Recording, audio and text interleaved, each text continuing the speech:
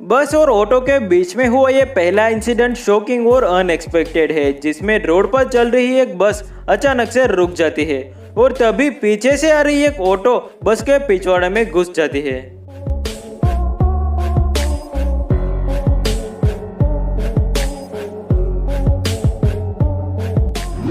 दोस्तों, यहाँ पर आप देख सकते हैं कि पैसेंजर को उतरने के लिए एक बस रोड पर रुकती है। लेकिन उस बस के एग्जेट पीछे एक ऑटो भी आ रहा था, जो टाइम पर ब्रेक नहीं लगा पाता और पूरा ऑटो बस के पीछे घुस जाता है।